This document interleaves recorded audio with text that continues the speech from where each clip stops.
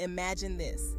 It's 2024, and the average African American family holds only a fraction of the wealth of the average white family. How did we get here? And why does this gap persist? To understand, we have to go back. Back to a time when laws actively prevented black families from building wealth, starting right after slavery was abolished. First, there was segregation.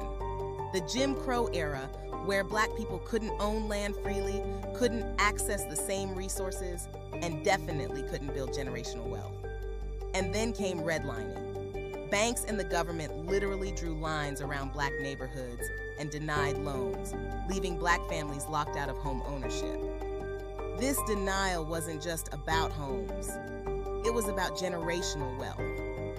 Without property, black families couldn't build equity, pass down assets, or get a foothold in the American dream. Think about it. While white families passed down property and savings, black families passed down survival skills. Fast forward to today, and we have new barriers higher student debt, limited access to capital, and persistent wage disparities make it even harder for black Americans to build. Even black entrepreneurs are more likely to be denied loans than their white counterparts.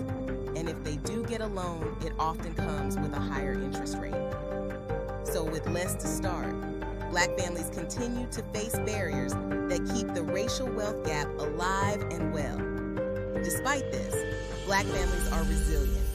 Many are still finding ways to save, invest, and build businesses despite facing an unfair economic system. Black owned banks, community funding, and financial literacy programs are slowly helping families close the gap step by step. But the work isn't done. The dream of true financial equality is still far from reality. Imagine what America could look like if all families, regardless of race, had equal opportunities to build wealth. How different would history and our future be?